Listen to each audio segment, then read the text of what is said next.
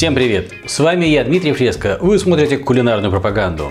Судя по статистике просмотров, больше всего на свете вы любите смотреть э, ролики про разные колбасы и быстрые бутерброды. Я сидел, думал, как бы объединить в одном ролике, собственно говоря, эти две ваши любови. То есть бутерброды и колбасу. Потом думаю, что торможу? Это же есть объединение. Бутерброды и колбаса. Куда уж быстрее. Ты отрезал хлеб, шлеп, свежеприготовленной колбаски. Красота.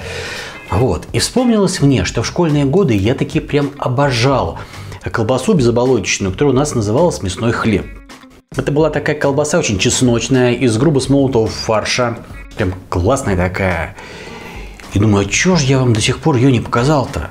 Это же классная технология. Ведь для ее приготовления, по сути, из э, сложных нетипичных приборов кухонных нужен только термометр.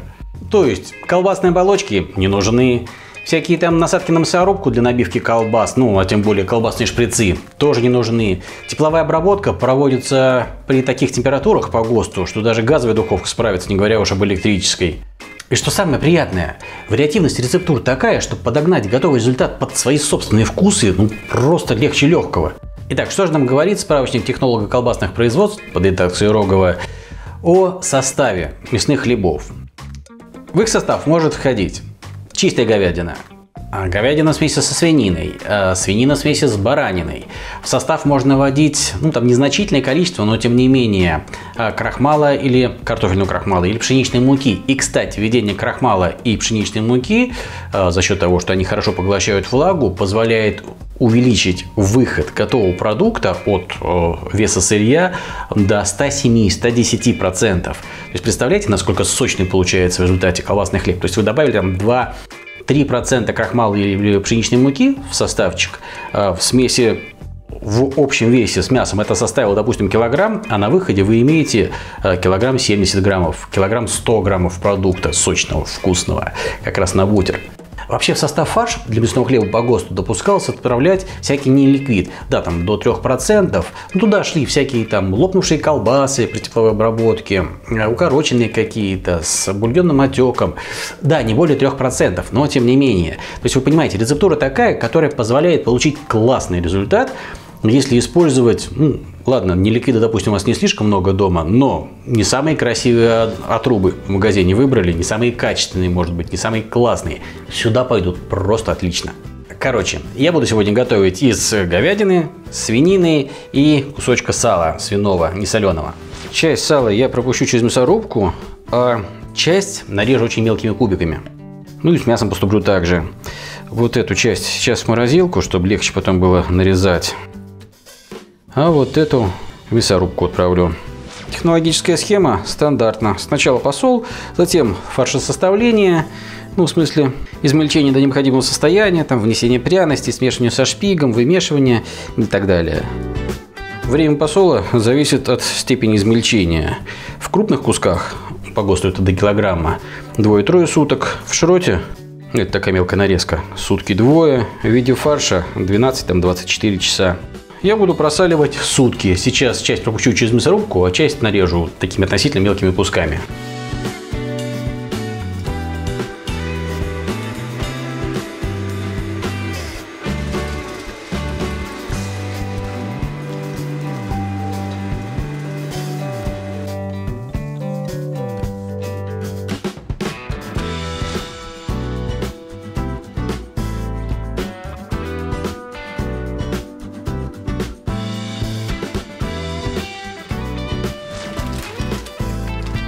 Теперь, если говорить про ГОСТ 23670, надо добавить соль. Из расчета 2,5% к э, весу сырья. Но на мой вкус 2,5% все-таки многовато, поэтому я буду добавлять 2,1%.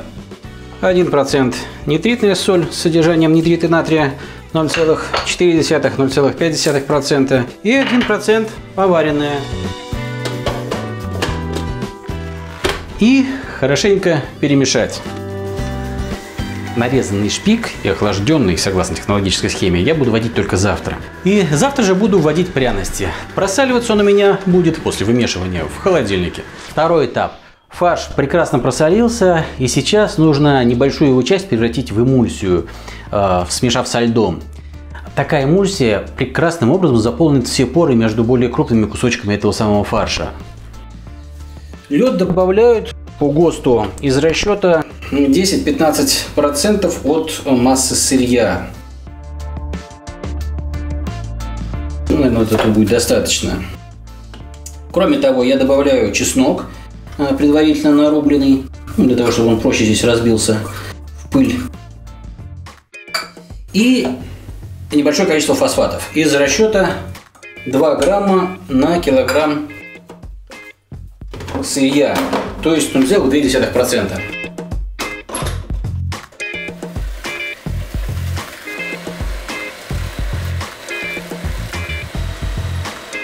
Реально глядя на вещи, ну, во-первых, нет большой нужды превращать часть фарша в эмульсию. Ну, будет у вас э, мясной хлеб чуть-чуть более э, крупнокусковой, э, не такой плотный, не такой эмульсионный. Ну, ничего страшного. Во-вторых, э, кстати, посмотрите на эмульсию. Смотрите, какая она липкая. А, красотень какая. Во-вторых, совершенно не обязательно добавлять фосфаты. Если у вас парное мясо, то в нем уже есть эти самые фосфаты. В течение 4 часов после забоя да, они разлагаются.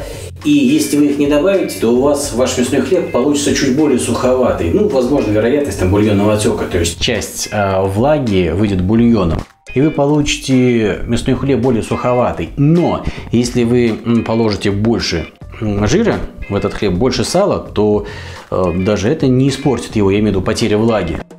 Купить, кстати, эти самые фосфаты пресловутые можно в магазине Ем колбаски. Э, считать это рекламой.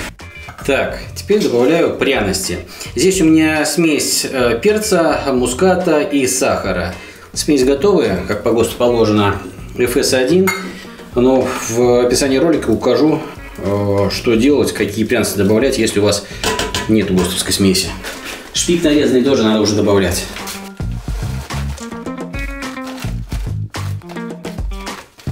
Меня столько раз спрашивают люди, где купить те или иные продукты, что удивительно, почему люди в интернете поиском не пользуются.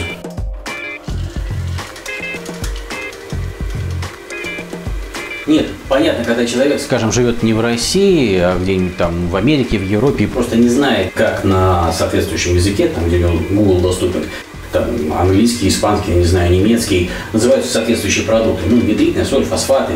Тут я могу понять. Но когда человек живет в России, это, это выше моего понимания.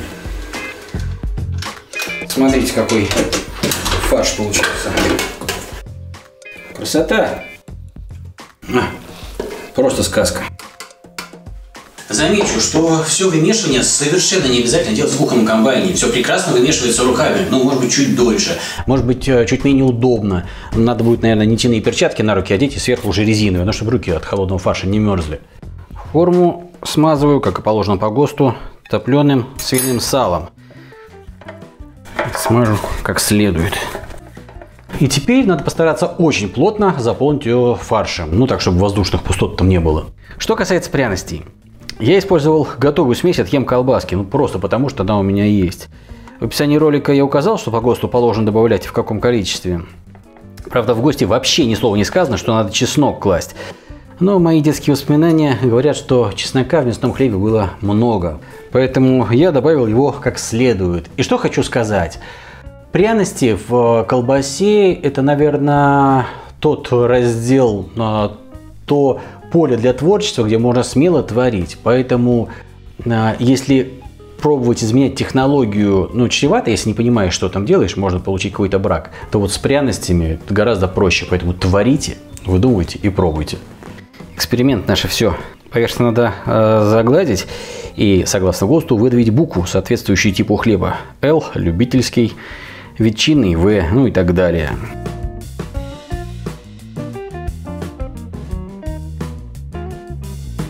А теперь термообработка. И вот тут самое приятное. Первый этап температура 150 градусов 80 минут, затем 110 градусов до достижения в центре хлеба 70 плюс-минус 1 градус.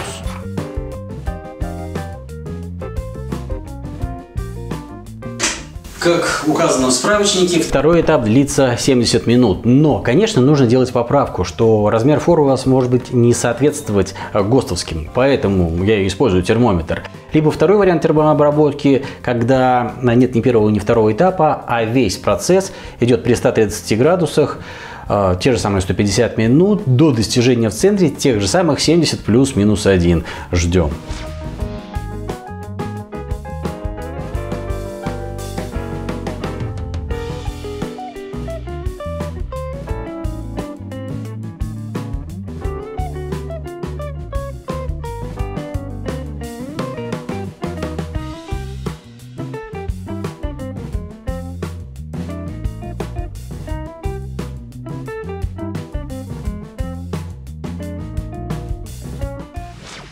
И вот к вопросу о размерах формы. У меня эта форма, по крайней мере, в два раза ниже, чем ГОСТовская. Ну, насколько я помню, ГОСТовский хлеб. И никаких 80 минут при 150 мне не понадобилось. Температура внутри 70 градусов достигла через 45 минут после того, как я отправил на 150 градусов в духовку. Представляете? То есть э, второй этап для меня и не э, понадобился. Поэтому термометр и еще раз термометр. После того, как она у меня там прогрелась, я вытащил этот хлеб из формы э, и отправил при 130 при конвекции э, опять в духовку, так положено по ГОСТу, для того, чтобы слегка обсушить. Но температура поползла выше, он мне простоял с конвекцией при, ну, то есть при включенном вентиляторе в духовке при 130 градусах еще буквально, наверное, 5-7 минут. Я его вытащил и сразу убрал сначала в холодильник, дождался, когда до 50 там температура приблизительно упадет, а потом в морозилку отправил. В морозилке он у меня постоял пока термометр не показал там, 8 градусов по Цельсию. Хотя сейчас снаружи, вот, по ощущениям, он теплее, наверное, градусов 30. То есть, судя по всему, теплота изнутри наружу идет, он все-таки не остыл. Но мне уже не терпится, давайте я разрежу и попробую, что же там такое внутри. Так.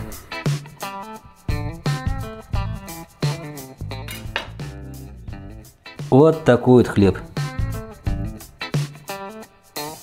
Красота необыкновенная. Цвет.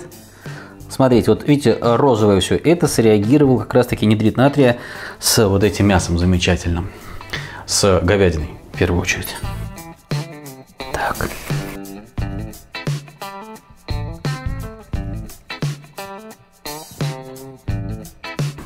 Так вот сделаем.